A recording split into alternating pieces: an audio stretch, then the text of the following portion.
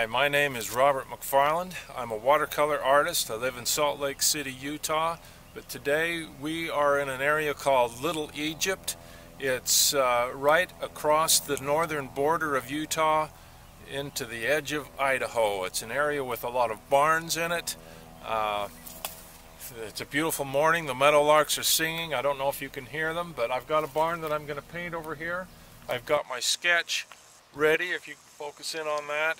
And I've previously scoped out this area. The shadows on the sketch are a little bit more of an afternoon shadow. You can see in the barn they're not that way that right now, but they will get there a little bit later on. So we're going to get started pretty soon here and uh, see see how it goes.